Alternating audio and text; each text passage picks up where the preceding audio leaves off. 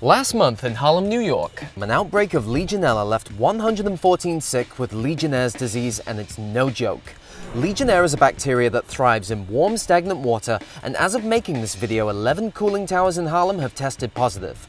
So how do you prevent Legionella in water systems? Simply put, keep the hot water in your system above 140 degrees Fahrenheit or 60 degrees centigrade, and the cold water below 68 degrees Fahrenheit 20 degrees centigrade. And make sure to regularly test and disinfect your system, because if there's one thing that Legionella likes most of all, it's negligence.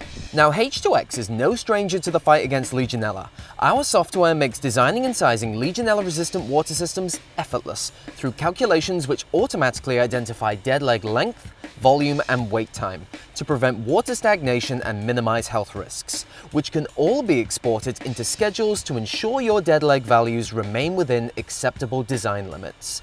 To find out more about the fight against Legionella, check out our ebook on our website.